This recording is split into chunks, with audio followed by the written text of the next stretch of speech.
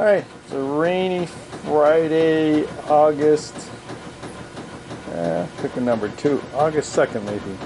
So this is what we're using for our wood chipper chute to go into the chip box, chip cart.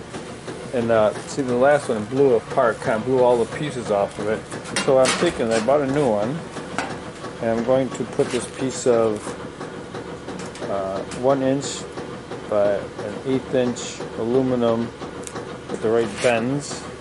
To reinforce this and then to put another piece on the bottom to reinforce on the bottom so that it doesn't get uh, the force doesn't see uh, the places that was screwed stayed screwed but these this type of joint blows apart so my plan is to reinforce across those joints with a couple of screws and a bar top and bottom and I need this up here because this is how we put a, a rope back onto the chipper to hold the chute in.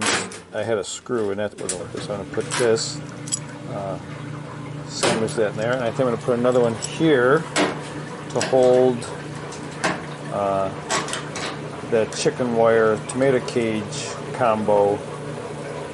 Hook it here and let's let it dangle down here. Maybe I should even put it out farther like this. Alright, I gotta make another one of these too. Alright, let's have a look. Put my glasses off so I can actually see how I'm doing this. So I put this, this is eighth inch thick, one inch wide, aluminum flat stock. I bent 30 degree angles. And then I put six 32s by one inch long. To secure that, I put them from the inside so these things don't impede chip flow and also get hit and cause torque and rip out. So the inside should be as smooth as unobstructed as possible. and the benefit of having these stick up is I have to hang this rope on something so now I can hang right up on there. I don't have to make another bracket. So I have two Phillips screwdrivers and a small box end wrench. So I gotta get my hand on the inside with the screwdrivers to tighten those up. So that'll be after ice skating today.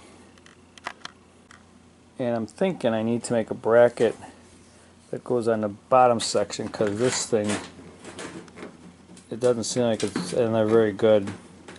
You know, most I think most of uh, the flow is going to be about hitting the back.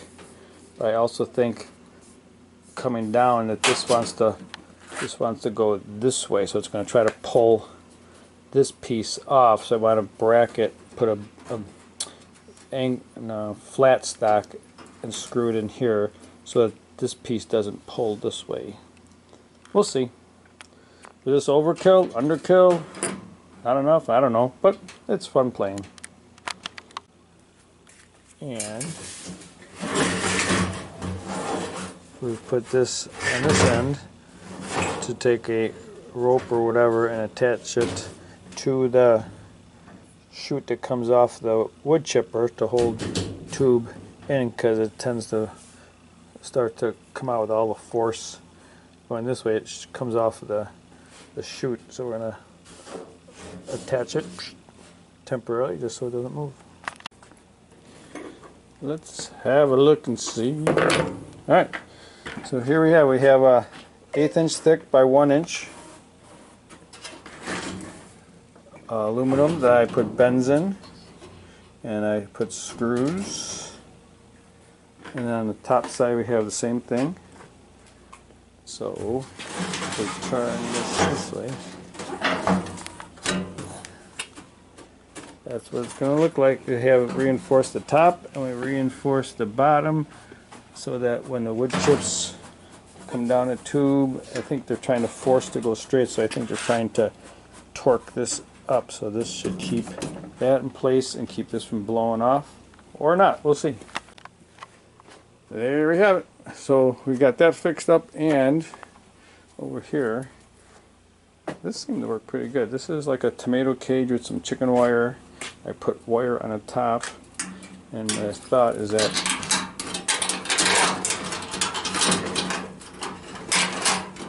goes like that. Well, straight down, hang on. Yeah, so this wire is going to just hang off of one of these screws here. Uh, yeah, and that's supposed to, seems like it does a pretty good job of uh, getting things to stay contained into the, the chipper box. Okay, we are modifying the chipper box to go with the chute and that. And what had happened was this bottom part stuff was coming out, but it had to be cut higher. So when you opened it, it missed all this stuff. So this is what we uh, this is what we came up with. So this is just kind of tied up here, and that goes down. So when we open our door, if need be, we can secure it. Oh. And then this is nice and secure and the chips won't come out. When we're ready to open it, we can unsecure it and secure it up. And then when we open the door, it will clear all of that stuff and then this one will keep that open. Yeah, so, you know, not the most elegant, but I think it's functional for our next next effort. And then when we're closing it back up,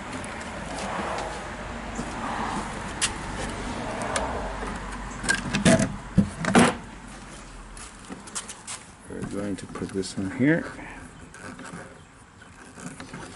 There we go. And